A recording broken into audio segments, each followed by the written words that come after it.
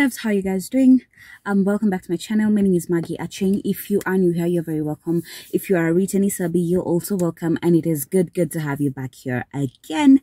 Now, I am back with another video because, because I am very consistent nowadays. Ebu nipigeni makofi hapo. Ebu send those emoji claps down there, by the way. Ebu, no, on a serious note, imagine, uh, uh, on a serious note, you guys just clap for me because they have been consistent. Yani, you, where? Ebu ni clap here ni hapo. Eish. Eh? Ai.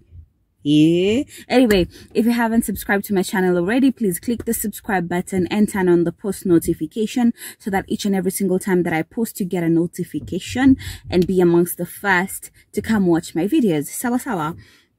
Now, today I want to talk about the markets in Mtumba that I feel normally are not targeted that well or are ignored and zikona pesa those two markets. This is what I want to talk about today. Sawa sawa. Now, the first market that I feel guys tend to not do a lot or avoid a lot is the plus size market. Now, in a previous video, I told you guys there's a bill particularly for plus size dresses. There's a bill particularly for um plus size blouses there's a bill particularly for plus size jeans this market is not targeted now the funny thing is that most people tend to even when they open a bill and then they get like plus size tops, they don't like it. They're like, oh no, but I got a few plus size pieces.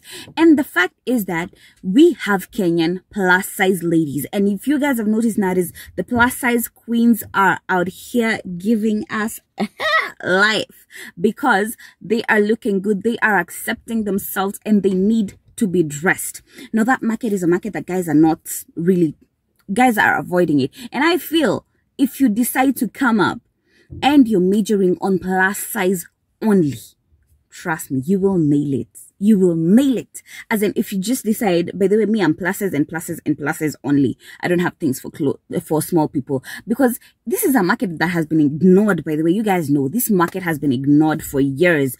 These guys struggle to find clothes. I've had a few people that have uh, sold to that are pluses and they're like, Aki, Aki, Aki, I've struggled to get pieces. I can't believe even have things that fit me. Yeah, okay it's not a market that i've personally targeted but I have opened Canadian Built and you guys know Canadian Built normally has a few plus size dresses. So the first market that has really been ignored is the plus size market. Plus size. Okay. Now the second market that I feel has really been ignored is the teens.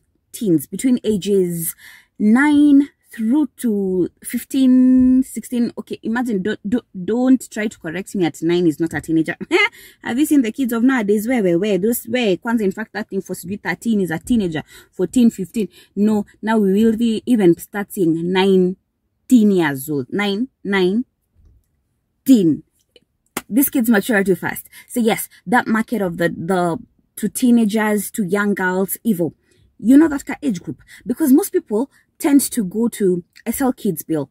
I mean the kids section. So they just tend to focus on below age 9. But who is targeting or who is tackling this market between age 9 and ages 15? Because you know those are kids that still are bought for clothes by their mothers on the, you know, um caregivers, whatever. So, because after that, now at 15, 16, yeah, 18, they tend to kujichagulia, they choose for themselves. But this market over here is really, really neglected. And Econopressor player, Econopressor, Econopressor player, server, server. okay, another area that I feel that guys are not targeting well. Guys are targeting it, but not well, is the household. Now, I'll find someone who's opened a shop and they're selling bed sheets. Okay. But I would appreciate if I found someone selling bed sheets, duvets, towels, bath and floor mats, doormats, you know, curtains, blinders, as in this market, guys are targeting it moja, moja, moja, moja, moja, moja. But guys are not doing it all together. And the beauty about doing it all together is that you're gonna sell because that will mean when someone enters your shop, they won't miss a thing. If I don't get a bedsheet, I'll get a duvet. If I don't get a duvet, I'll get a blinder. If I don't, if I don't get a blinder, I'll get bath and floor mats. So um, I've not seen or I'm not seeing guys like majoring on that okay. Um i'd say like personally um you guys know i target ladies but i target ladies as an all rounded all rounded. Today you'll find me selling dresses. Tomorrow you'll find me selling, t-shirts. The other day you'll find me selling like um, trousers. The other day palazzo pants. The other day denim blouses. The other day I'm on denim, denim jackets. The other day up. As in I am everywhere. I'm tackling this market completely okay so that's that's what i mean when i say also household i feel that guys have not targeted targeted it quite well okay another area that I feel that um, it's a sector that guys haven't done it a lot and I feel it has money like uh, like it has money like because of the uniqueness is scarf business. I have not seen anyone really into the scarf business. Someone who's just just selling like the woolen scarves, the satin scarves, the I haven't seen anyone doing that. Okay. And I feel it's a market. Ladies love this to vitambas. If you, if you guys know, there's this bill called Dupatta. It's a very pricey bill. Very, very pricey. No, it's not pricey. It's not pricey. It's like 13. Hey, no, that bill is like 16 G's. Yeah, that bill is like 16 G's. And these are Dupattas. Now, Dupattas are normally the chiffons and the satin vitambas. Yeah. So I feel that that's also a market that is very unique and hasn't been targeted yet. And if someone can be able to get like amazing amazing unique decent scarves i tend to believe that you're gonna sell them so well because you'll stand out in the market. You will stand out. Now another thing that i feel guys are not targeting well is the Viva, Vivazi Viandani, Vivalio Viandani, Vindani yeah? So what do i mean when i say this? I mean bras. Um i'd want to come to your shop and if you're selling bras i'd want to find you with kawaida bras. I'd want to find you with sports bras. I'd want to find you with corsets. I'd want to find you with those Mtumba body shapers.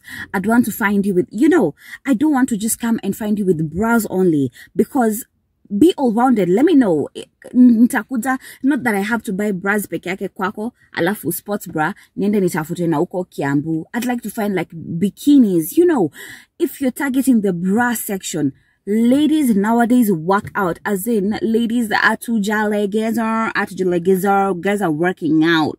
So this sports bras. But there's a bill that has sports bras only and that bill yay! That bill has money. Yeah? So i feel also the guys doing the bra section are also not doing it that well as in me i'm all about let's make this money i'm all about let's let's maximize on sales sawa sawa so yeah that's just that's I didn't have anything much to say on this video. Hey, where that was much. That was eight minutes. That was much. So yeah, um, tell me you guys on the comment section, which other market you feel that has not been targeted that well, has not been, has not been haijafanywa vipoa sana. Let me know in the comment section what do you guys think and what do you guys think of this video. So yes thank you so much for watching up to this far. God bless you guys. Let's keep taking care of ourselves. I will definitely definitely see you on my next video. So god bless you guys and i will see you on my next video.